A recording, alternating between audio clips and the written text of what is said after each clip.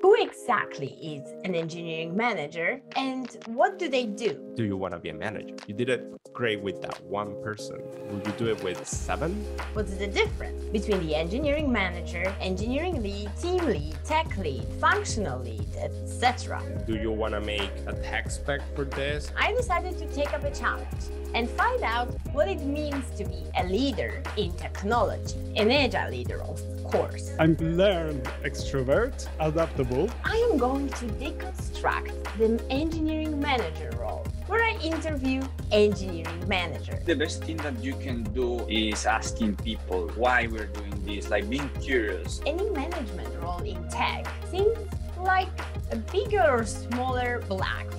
Are you managing people or are you managing the technology? As developers, you are like tech, tech, tech, and then like you're like, oh, but soft skills. No, no, no, soft skills later. In one company, an engineering manager would manage a team, and in the other one, an engineering manager would manage a team of team leads that manage the team. What's there to misunderstand? We don't have a universal job description. I have actually three things I would like to deconstruct about the engineering manager role. First one will be the role confusion. Who are you?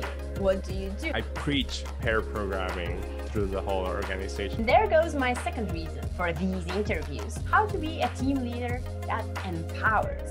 Creating a team from zero is really complex. It's really hard to put some people together and make them work as a team. The third reason is how to help the developers in their transition to a manager role. Coaching and helping people to become manager is something very important. Subscribe now to the Agile State of Mind channel and click on the bell icon to get notified about the upcoming interviews. Let's deconstruct the role of engineering managers together. See you there!